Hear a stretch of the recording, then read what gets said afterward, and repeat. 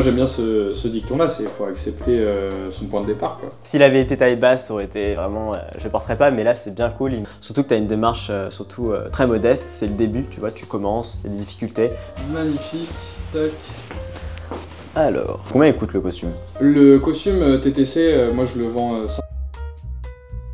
Merci du coup d'être euh, revenu euh, à la maison. Et bah écoute, avec plaisir. Mais là c'est le, c'est le moment que, que tout le monde attend. Du coup, euh, le, le reveal du, du costume. Exactement. Après, donc euh, la première fois tu es venu, on a fait dis- discuté un peu de, de ce que tu faisais avec le costume. Tout à fait, On a fait du coup une prise de mesure, des personnalisations. choisi le tissu. Et là, du coup, euh, le moment, on va pouvoir voir le costume en entier. Alors, l'essayage, du coup, t'es venu une première fois. Tu m'as livré le costume. Exactement, pour remettre les choses dans le, dans le contexte. Donc j'étais venu la première fois, comme vous avez pu le voir dans la première vidéo, pour euh, prendre les mesures de Thomas, euh, comme ce que tu as dit, donc euh, choix des tissus, personnalisation, qu'on a, qu'on a détaillé. Moi j'ai envoyé tout ça à l'atelier à Bangkok pour qu'ils puissent procéder, fabriquer le costume. Mhm. Ils me l'ont envoyé et donc dans ce délai de deux semaines environ, Super rapide. Exactement. Je suis venu te le livrer pour voir s'il y avait encore des retouches à faire euh, à ce niveau-là. C'est ça. Donc là, moi, j'ai fait. Bah, on mettra des petites photos hein, pour euh, montrer comment c'était. Donc, premier fitting du costume. Euh, personnellement, euh, avant d'en parler plus, euh, agréablement surpris. Franchement, gros point d'interrogation parce que bon, on a fait des, des mesures au corps, etc. Donc, je savais pas du tout ce que ça allait donner. Mais ouais, vraiment des, quand même des bonnes surprises sur le fitting. Et du coup, bah, hâte de, de montrer ça en vrai. Bon, bah, essayage du pantalon pour commencer. Exactement. J'ai mis une petite chemise qu'on puisse bien voir. Bah déjà, il est bien ça c'est cool. J'avais, j'avais, s'il avait été taille basse, ça aurait été vraiment, euh, je le porterais pas, mais là c'est bien cool, il me prend bien. Mais là, du coup, je suis pas mal. euh, le- Pour un- mon bril est là en fait, par exemple. Mhm, Donc là, il est vraiment bien. Ouais, c'est conforme au Et, euh. C'est ça. Au début, j'étais un petit, il était un poil court que j'ai un petit peu rallongé. Euh, il y avait de la marge à l'intérieur, donc c'est parfait. Un pantalon, ça se retouche assez facilement. J'étais un peu serré aux cuisses. Euh, heureusement, je suis dans mon air du vêtement un peu plus ajusté, donc j'ai eu un peu à élargir, mais pas de beaucoup. Et au bassin, j'ai élargi pas mal parce que j'étais très serré. Je suis encore un poil serré, un poil, vraiment, il faudrait euh, un centimètre en plus. Mm. Mais, euh, mais je suis bien, c'est tout à fait portable, c'est pas trop inconfortable.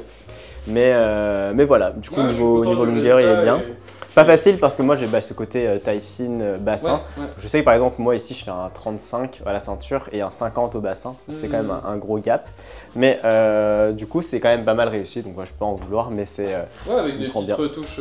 Mais même de base, moi je me souviens quand tu l'avais essayé au, au, au début, c'était déjà pas mal. C'était un peu serré, il fallait effectivement élargir, mais c'est ça. le- là le résultat est vraiment top. Que toi, effectivement, tu m'avais fait le retour par rapport notamment aux poches arrière. Exactement. euh. Désolé pour le, le plan euh, mais là, eff- effectivement, il y, a y ça qu'on n'a pas l'habitude de voir. On a plutôt l'habitude d'avoir euh, euh, les boutons, plus ça, les ouais. fentes. Mm. Mais là, ça fera des poches Ça, différentes. C'est quelque chose qu'on fait de standard, mais je peux tout à fait après ajuster pour, pour les, les clients.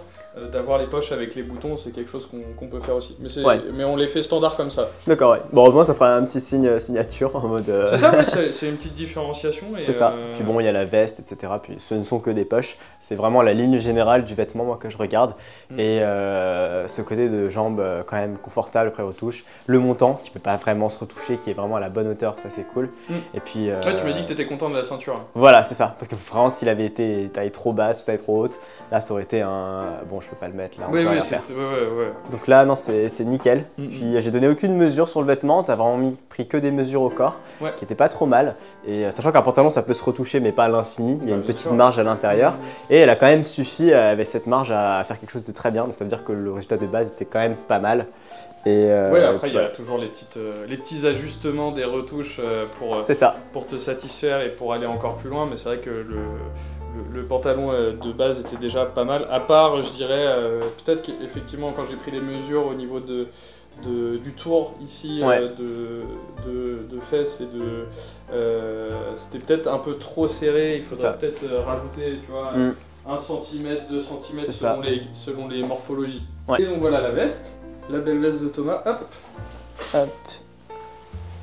magnifique. Tac. Alors, hop. Et ben voilà. On est vraiment pas mal. Donc, euh, premier truc que je vois, c'est que épaule un peu structurée, comme je voulais. C'était juste un challenge, vu que bah, forcément, tu leur transmets juste la photo, tu lui donnes les indications. Mm. Donc, je crois que tu avais dit euh, épaule structurée avec euh, grosse cigarette. Ouais, je voulais un peu plus de cigarettes et ça. effectivement, ils sont allés chercher un. On a, pris une, euh, on a pris une photo d'une cigarette et me l'a envoyée et finalement plutôt réussi. On Mm. voit bien la démarcation. Euh, alors quand il est arrivé, il était un poil court, un poil trop court, donc on a rallongé, un- rallongé un petit peu, pas trop rallongé, mais j'ai ajouté un petit centimètre en longueur. Et euh, c'était un petit peu large ici, un peu trop. Après c'est plus une question de style, le cintrage. Ouais, ouais. C'était pas puis- inconfortable. Et puis, comme ce que je te disais, c'était c'est la, la coupe entre deux, entre vraiment le ample et euh, le. C'était la coupe Taylor, je C'est crois. ça, c'est le, le fit Taylor C'est ça. qui fait que on est, euh, on met à- le, le pas sur euh, le confort d'abord, et après ça nous permet avec les retouches de venir affiner au niveau de la taille ça. euh, ou, euh, ou euh, Mm. d'élargir selon. J'ai rien touché aux manches, donc niveau largeur, elles étaient bien. Niveau longueur également, il y a vraiment là, c'est vraiment la longueur parfaite. Hop, il y a un petit peu le, le petit, euh, la petite chemise qui dépasse un petit peu. Et euh, donc j'ai un petit peu affiné taille bassin, puis je savais combien retirer en ayant un peu mesuré pour faire quelque chose de un peu cintré, pas trop non plus. hein, j'ai vraiment beaucoup de marge euh, dedans. Puis là, c'est un peu épaulé, donc ça va bien avec un, un revers un peu large. Ça va bien un peu aussi avec la largeur du rabat. Donc là, on est sur des, des vraiment bonnes proportions. Et euh, c'est un très beau bleu, un peu plus original, un peu plus clair du coup, parce que moi j'ai- un costume qui est bleu marine très foncé. Et là, ça me fait un costume un peu plus bleu ciel avec des- une très belle texture. Bah, quand on va Et sur le, euh, c'est très sympa. le tissage euh, sergé, de toute façon, euh, on, a- on commence à avoir un peu plus de texture, de relief euh, dans les couleurs et dans, les, dans, le, dans, dans le tissu, donc c'est sûr que c'est beaucoup plus sympathique et ça sort, ça sort de la lande. Ça reste un bleu, mais ça, va, ça va attraper, ça va attraper l'œil et ça va être toujours plus, plus sympa que euh, un tissage euh, toile classique. Hum, c'est ça. Euh, euh, moi aussi, j'aime bien le, le sergé quand je Ouais. fais- c'est ça. Au niveau de l'épaule, le padding, je me demande ce que c'est, parce qu'il n'a pas la même texture que les autres? Je suis pas un expert du costume, il faudrait que je démonte la veste ou je questionne les gens, mais Mhm. il a un ressenti différent. C'est assez, c'est assez voilà, différent. Mais du coup, ça, ça rend quand même bien. Il y a quand même l'effet que je voulais. Et euh, mais ouais, il est bien. Après, il y a une question que je m'étais demandé, après, c'est plutôt moi, hein, c'est euh, la question du boutonnage. Est-ce que ça peut se modifier ce bouton? Tu vois, est-ce que ça prend là? Je sais que moi j'aime quelque chose en général un peu plus bas, Mhm. mais là comme ça ça passe. Mais c'est vrai que comme il, quand il était haut avec la veste plus courte, ça faisait Oui, vraiment ouais, très toi, bizarre. toi, ça, te, ça, te ça te plaisait moins. ouais. C'est ça, moi j'aime bien quand le boutonnage est un peu bas, qui rejoint presque la ceinture ici. Mais ça, c'est quelque chose sur euh, lequel on peut travailler après en, en amont à la, Si on lui la demande. personnalisation du, ouais, C'est ça. du. Donc heureusement qu'il était un peu cintré pour pouvoir marquer quand même un peu la taille. En général j'aime bien un, un- un bouton un peu plus bas, un revers un peu plus haut. Mais euh, c'est très très très largement... euh, je serais quand même très largement satisfait quand même après retouche de ce que ça donne. Ouais, euh, carrément, carrément. Et, euh, et moi, je, je suis content parce que je vois dans, dans ton retour global, comme euh, je, je débute, j'en ai fait pour moi, j'en ai fait un peu pour mon entourage, mais là, c'est la première fois que j'en fais pour quelqu'un autre qui pourrait avoir un avis biaisé parce que je le connais, tu vois, entre guillemets. C'est super encourageant et moi, ça, ça, me, ça me pousse encore plus à m'améliorer, à prendre tous tes retours par rapport à, à la prise des mesures, à, la personnalisation. euh, euh, et euh, notamment euh, derrière au fit, aux retouches, pour euh, bah, proposer un, un costume derrière à mes clients qui va être euh, encore plus satisfaisant. parce que- Mais du coup, ce que je te propose, c'est de peut-être faire euh, mon point sur euh, bah, l'expérience qu'on a eue, enfin voilà le costume, et puis Mm. euh, ce que je te propose, ce que je te moi, conseillerais de mon expérience, Ouais, de tout ce que j'ai pu voir, un peu mes connaissances, du coup de ce que tu pourrais améliorer, ou Mm. est-ce qui est déjà très bien, est-ce que tu pourrais peut-être améliorer. Ouais, carrément. bah, Bah du coup Oliver, euh, je- on va faire un petit point. Je vais Yes, te donner euh, bah, mon ressenti, ce qui était bien, et moi pour moi ce qui pourrait être euh, voilà amélioré, parce que toi tu débutes. Donc, euh, donc dans un premier temps, euh, on va le faire dans l'ordre choix du tissu. Ouais. Euh, donc choix du tissu, bah voilà moi je t'ai dit ce que je voulais, donc tu as une discussion un peu en amont pour ça. savoir quel tissu recherche la personne, et puis ensuite tu les amènes, comme moi j'ai fait. Mm. Donc c'est vrai que si tu te déplaces chez la personne, tu peux pas amener toutes les liasses. Donc effectivement, c'est pas mal, ce- c'est original et pas mal ce système de communication. Si la personne dit euh, je veux que du lin, un costume en lin, bon bah du coup tu chercheras des, des liasses de lin et tu viendras qu'avec du lin. Si elle veut que de la laine, de la laine, du tweed, etc. Donc euh, donc c'est pas mal, Euh, original. Faut voir du coup si tu seras pas trop limité. Je sais pas combien de tissus tu peux ramener en même temps, mais heureusement nous on a trouvé un bien qui me convenait. Euh, ensuite, euh, donc euh, le principal point moi que je verrais, c'est que donc euh, tu n'as fait que des mesures au corps. Et je pense que c'est bien d'avoir un gabarit parce qu'en fait, euh, bah, pour un même corps, il peut y avoir plein de mesures différentes qui dépendent du style et de ce que veut la personne. C'est-à-dire qu'il y en a qui veulent, je sais pas, un pantalon euh, pour une même paire de jambes, un pantalon très long, très cassant, d'autres très court, d'autres un petit peu cassant. Pour une même taille, des, des gens qui veulent quelque chose de très cintré, pas cintré, très droit, etc. Donc euh, je pense que, et forcément quand tu prends le corps, bah, tu as toujours la même mesure, donc c'est un peu compliqué. Donc heureusement qu'il y a la partie retouche derrière, euh, dessus. Mais donc du coup, je pense que c'est pour la coupe, toi tu parles du coup. C'est ça. Le côté coupe. Je pense que le, gabarit est bien pour la coupe parce que c'est bah, comme ça qu'on fait dans toutes les enseignes de sur-mesure pour pouvoir euh, discuter du fit. La personne a le vêtement, elle peut se projeter dans le mmh. vêtement et discuter en même temps avec elle de euh, comment elle se sent dedans, comment elle le trouve. Est-ce que là c'est trop serré, trop large, trop court, trop étroit, euh, trop long du coup. Donc euh, voilà, c'est vraiment bien je pense d'avoir un gabarit. Après voilà, faut voir au niveau logistique, peut-être discuter un peu de savoir quel est le poids, la stature de la personne. Mm. Si tu vas pas ramener tous les gabarits, ouais, tout à fait, etc. Mais c'est bien de travailler avec un gabarit je pense, en même temps des mesures de corps. Même si le résultat est pas mal en mesure de corps, mm. bah, il y a peu d'indications sur le style, donc il faut, faut peut-être des fois beaucoup faire d'altération, donc de retouches. Et je pense que c'est aussi normal euh, au début de. Euh, moi, ma démarche, c'était de proposer un, costume et je me suis pas trop posé la question du style. Tu vois, après, il y a les personnalisations pour euh, habiller le costume et le rendre plus, plus personnel et plus individuel. mais c'est vrai que j'ai encore ce. J'en suis conscient, ce travail-là à faire sur les, les coupes et le gabarit remplit bien ce rôle-là, même à des résultats qui sont, qui sont top. Tu vois. Oui, c'est ça. De toute façon, je pense que si des personnes, euh, ça, je sais pas si ça s'adresse ou non du coup à des personnes qui ont des des attentions, des détails, très poussés.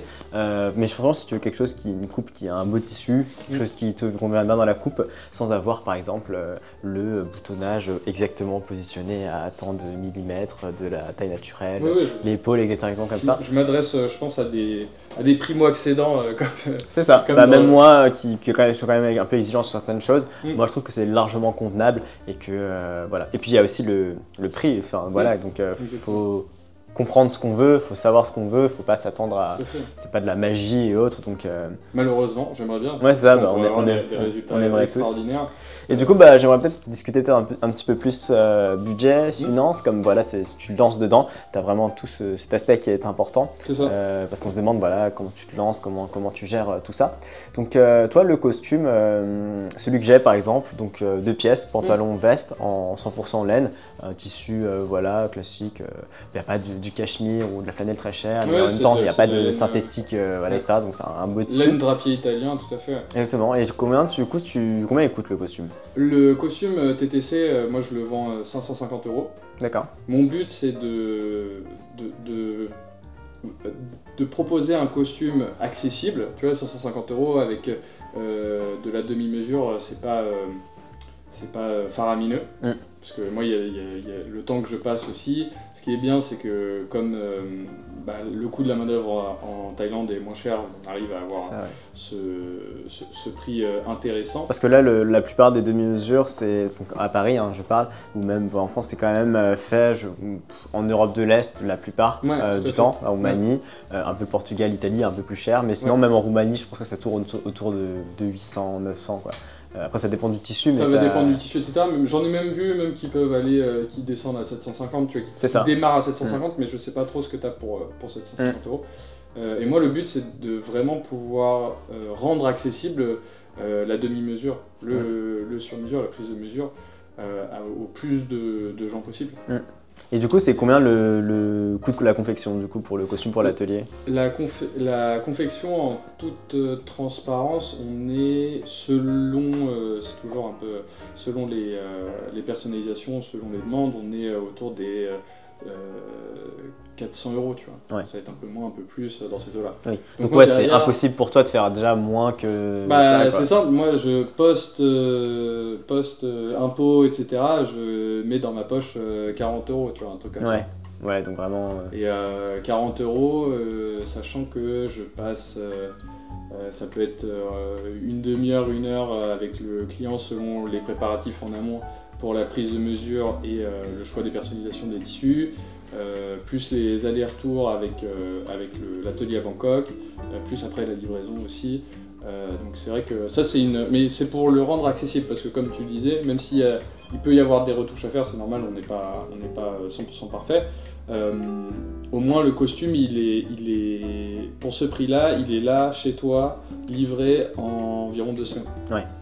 Donc c'est dé- c'est déjà pas mal. Et tu sais combien ça coûterait de le faire euh, en Europe, du coup, le costume en atelier? Moi, je sais pas du tout combien Euh, les marques margent. Je, C'est- pas renseigné je je mais- t'avoue que comme euh, je l'ai vu, j'ai pas trop d'idées, mais tu vois quand. Si, imaginons qu'il qu'il est au même prix. tu penses que ce serait le cas? Moi, je sais pas trop euh, combien ça arrivent à, à à s'aligner. Euh, bah là, ça coûte 400 euros du coup de te le faire en, Ouais, en Thaïlande. 300, Mais est-ce que si tu le fais en Roumanie, ça, ça coûterait pareil ou à peine plus cher? Moi, je pense que déjà pour la Thaïlande, je suis un peu cher parce que un, c'est un tailleur qui a pignon sur rue et qui fait tout dans son atelier. Oui, de toute façon, voilà, tu débutes. On a pour vraiment commencer à accompagner. Ça. De toute façon, les gens le verront hein, que c'est vraiment le début. Donc, Mm, euh, mm, mm. ensuite, c'est, bah, les débuts sont un peu difficiles pour tout le monde. Et du coup, mais c'est vraiment après. Parce que là, on voit les, les marques que je connais, euh, euh, bah, enfin, que chez, chez qui je suis allé, euh, Scavini, Confident, les francs-tireurs, etc. Je les ai Mm. rencontrés. Euh, Ardent Escribé, c'est vraiment des gens. euh, tu les vois actuellement. euh, Il y en a qui sont seuls, ou à deux, ou à trois, Ouais, ou une toute petite équipe. Et ça fait euh, 10 ans, voire plus de 10 ans qu'ils sont quand même là. Et donc du coup, euh, ils ont vraiment commencé doucement, très modestement, limite comme toi, euh, ça, vraiment ouais. au début. Bah, Et puis c'était dans son appart, je crois. Ouais, c'est ça. Euh, Je me souviens qu'Yves des Frontières disait qu'au début, il prenait des mesures au corps et tout. Donc vraiment, tout, commencé, tout a commencé vraiment comme ça. Mm. Et puis vraiment, tu commences très modestement avec de la passion et avec des rencontres. Et puis au fur et à mesure, peut-être que là, du coup, voilà, ça, ça va se lancer un peu comme eux. Mais voilà, faut, euh, faut être conscient que c'est vraiment les débuts, débuts, débuts de, Ah de ouais, ta ouais, marque. tout à fait. ouais, C'est voilà. Non, et puis c'est ça. Moi, c'est ça qui. t'as pas une prétention de façon énorme Ah de- mais, dans, dans- mais ce que pas tu du fais. tout. Et puis si euh, le client n'est pas satisfait ou qu'il y a vraiment des choses qui vont pas, ce qui m'est encore jamais arrivé, euh, de toute façon, moi je, je prends en charge à ce moment-là s'il y a besoin de faire des retouches, si le, le costume ne va vraiment pas, mais ce- qui n'arrive pas, tu vois, même ce que je t'ai livré, même si tu C'est étais ça. serré à certains endroits, etc. Tu peux le mettre le costume. Après, c'est plus pour aller Ouais. plus loin euh, sur euh, du confort ou euh, une manière de porter le costume Ouais. que tu vas faire les retouches. Et d'ailleurs, du coup, dans ton budget, est-ce que tu as inclus un budget retouche? Et justement, en fait, le- le- toute la l'ambivalence et la complexité est là, c'est de dire, soit en fait je, je vends à 550 et je marge 40 balles, mais du coup, en fait, si s'il y a des retouches, euh, je gagne pas d'argent ou tu vois, je, je rémunère pas mon temps, ou euh, je vends un peu plus cher. Donc on se rapproche des tarifs, euh, mais on en est encore un peu loin de la demi-mesure parisienne, par exemple. Euh, euh, mais je, je peux inclure un, un tarif retouche, tu vois. Bah, c'est des questions que je me pose. Pour l'instant, je préfère le vendre sans inclure ce côté retouche euh, pour que. euh, Prendre de l'expérience. Ouais, prendre de l'expérience, puis ouais. avoir vraiment ce tarif-là. Et je te dis, si c'est vraiment, si ça va vraiment pas, bah, je prends euh, sur mes fonds ça. personnels euh, pour. euh, C'est pour ça que pour moi, c'est le, ce début, c'est un apprentissage. Par exemple, tu marges avec 40 euros, tu vends ton truc. Mm. Ok, il y a certes un budget retouche au début pour, pour la. pas- Parce que du coup, il n'y a pas. pour arranger les choses. Mais qu'en fait, donc, tu le prends plutôt pour toi. En fait, c'est plutôt toi de ton côté qui Ouais, t'en charge en bien sûr. rognant sur la marge. Mais du coup, euh, au fur et à mesure, donc, tu prends de l'expérience parce qu'au début, bah, c'est pas comme la personne veut parce que du coup, c'est, tu commences, tu n'as pas trop d'expérience, il y a beaucoup de retouches. Mais au fur et à mesure que, que tu t'améliores en prise de mesure et en Non, confection, bah, du coup, il y aura de moins en moins de retouches. C'est comme moi, quand j'ai, bah, je travaille, euh, je suis conseiller mesure pour les chemises. Quand j'ai commencé, il y avait euh, pas mal de, de reconfections, de grosses retouches, etc. Mm. Et au fur et à mesure, il y a vraiment des, euh, il y a plus de retouches ou un poil de retouche à faire. Et du coup, moi, ça me convient. et enfin, je me suis amélioré en même temps. Bien sûr. Et la, la, la boîte dans laquelle je travaillais au début a accepté de, bah, forcément, qu'il y ait beaucoup de retouches, beaucoup de ratés au début, mais ce qui est formateur, Mm. donc beaucoup de retouches. Et puis au fur et à mesure, il bah, n'y a pas de plus en forcément plus choix en fait. C'est ça. moment, tu es obligé de. Faut accepter. euh, moi, j'aime bien ce, ce dicton-là c'est faut accepter euh, son point de départ. Quoi. C'est ça. point de départ. Et, euh, et après, voilà, au fur et à mesure, il faut trouver bah, des personnes dans ton entourage, avec le bouche à oreille, et ainsi de suite, qui te font confiance. La base est saine, tu vois, la base est bonne, comme on l'a vu. Ça. Et après, effectivement. Ce que je veux dire, c'est qu'au fur et à mesure, tu vas t'améliorer. Et Mm. en t'améliorant, bah, il y aura moins de retouches à faire. Et donc là, ça rentrera dans les clous. Oui, Voilà. oui, et puis euh, si je m'améliore, et si- il peut y avoir plein de facteurs qui font que le, le prix évolue aussi, tu vois. Oui, bien sûr. Mais là, je parle juste sur cet aspect-là. Ouais, ouais, tout à fait, ouais, carrément.